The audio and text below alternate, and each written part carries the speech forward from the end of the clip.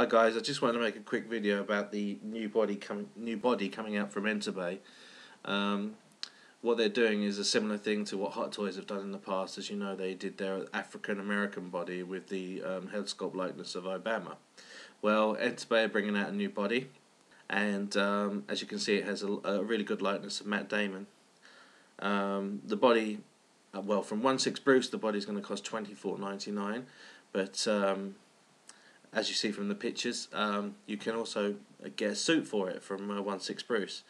Um, the figure in a suit is going to be forty eight ninety nine.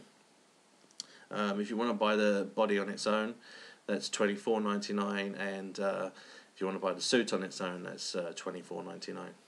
Uh, as I mean, it's great. I, have always wanted a, a Bourne figure, and um, I think with the suit and everything, it, um, I'm, I'm going to be pretty happy with, with that for such a great price coming from such a quality company like Enterbay.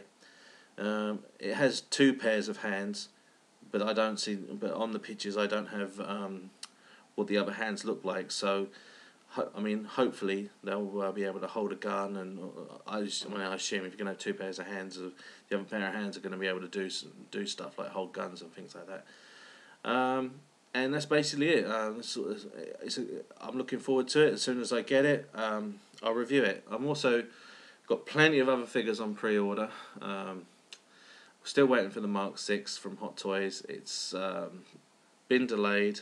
I assume that's because of the chest plate problems. So we're still waiting on Hot Toys Mark Six second batch to come out, and um, the Bruce Lee shouldn't be too far behind um, as well. So.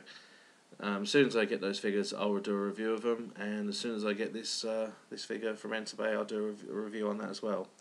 Uh, thanks a lot, guys, and I'll catch you later.